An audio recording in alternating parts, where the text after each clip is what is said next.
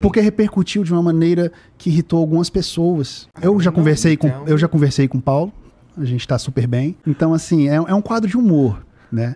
Paulo Cavalcante Musi. Se você tá querendo dar um up na sua testosterona de forma natural, então você precisa conhecer o Teston da Unique Pharma. E usando o cupom clássico você ganha descontos exclusivos e o link está aqui na descrição. É, e aí, o que acontece? Lá, esse bagulho que tu fala lá no teu canal, como eu já disse, eu achei que tu era inimigo dos caras. Não, nunca. E aí tem o lance da, da fanbase que é tóxica, mas isso é natural da internet. Não, não tô dizendo assim, por exemplo, é culpa do Rodrigo. Não é. Ah, Não é. Acontece, a internet inflama muito algumas Isso. situações, sabe? E ainda mais porque você tá, tem um quadro lá que os caras provavelmente não entenderam que é sacanagem. E tu pega no pé, de certa forma, vai. É, do, por exemplo, o que ficou mais famoso que eu estou ligado é o do Muzi.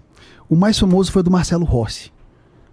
Não, mas, cara. Mas tá o, o que deu Pode- a esse, pode ter, confusão esse pode ter sido o que deu mais view. foi, é isso mas mesmo. eu tô falando que ficou mais famoso, que é diferente. Ah, sim. É o do, é o do Muzi. que, assim, é porque repercutiu de uma maneira que irritou algumas pessoas, né?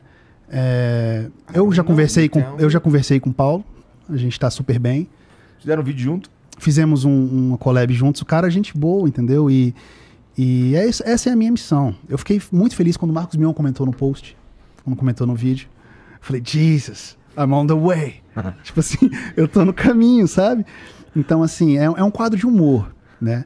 Paulo Cavalcante Musi. A.K.A. Urso do Alasca, A.K.A. Musi. Eu nunca imaginei te ver no meu canal, não é mesmo? Entendeu? É, é, é- é cômico, assim, mas com uma mensagem legal, assim. Deus me perdoe. Deus É, me perdoe é foda, Esse cara. viralizou. Esse aí é foda, cara. Cara, eu recebo milhares de áudios desses por dia no TikTok. Deus me perdoe. É o do Wow Look at Him do Baseball Bash também tá famoso, né? Is that a gay pride flag? É uma bandeira LGBTQIA+. Aparentemente alguém gosta de um baseball bat, um taco de beisebol. Não é mesmo? Acho que tem bastante gente que gosta, cara. Tem cada um, cada um. E como é que é pra você? ah, vamos lá. Quanto tempo que tu faz esse, esse, o, esse quadro? Os vídeos. Eu, eu já fiz mais de 15 pessoas, se eu não estiver enganado. Eu comecei em novembro. que foi o primeiro? O primeiro, cara. Agora é difícil lembrar. Não, tá, mas Teve ele- o Conor McGregor, Tá. né? Teve vários. É, não, o meu ponto é alguns- assim, demorou pra chegar no, no ponto que, que o troço explodiu? Começou quando o Casimiro reagiu. Que é um cara que me surpreendeu muito as palavras dele e você fica animado, né? De ver alguém de, de grande porte Aham. elogiando o seu trabalho. Então fiquei muito motivado, né? É, o Padre Marcelo Rossi foi um, um clássico, assim, do meu canal, né? Padre Marcelo Rossi. A.K.A. Father Horse. As coisas mudaram muito no decorrer dos anos, não é mesmo? Você se tornou muito forte. Como você conquistou um físico tão aesthetic? Como seus braços ficaram tão imensos? O que você esconde embaixo da batina, padre? Pope Francis viralizou. Então são coisas que eu não imaginava, Igor, porque eu só aperto play.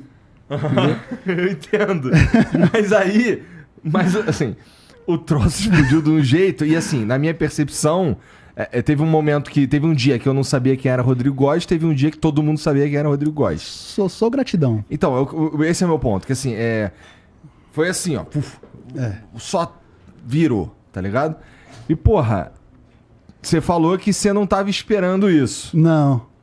Não dessa forma tão rápida, tão rápido. É. né? Pois é. E, e tá bom, mas só que aconteceu dessa forma tão rápida. Uhum. E aí? Como é que fica a tua cabeça, cara? Cara, tá a mil, porque é muita gente se aproximando, muita proposta chegando e eu tô mantendo meus pés no chão. É, tenho uma clínica de nutrição com a minha esposa.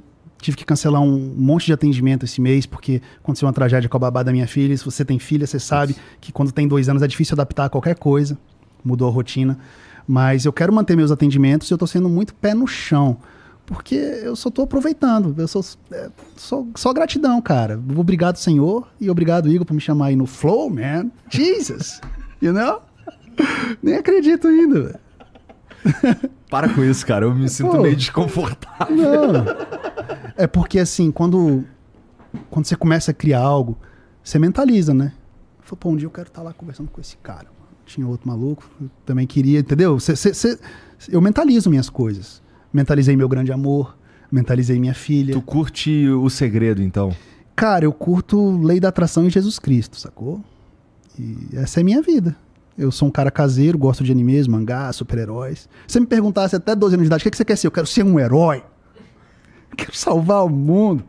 Entendeu? Eu sou bem. Pra isso, tem que fazer amor com ele. É.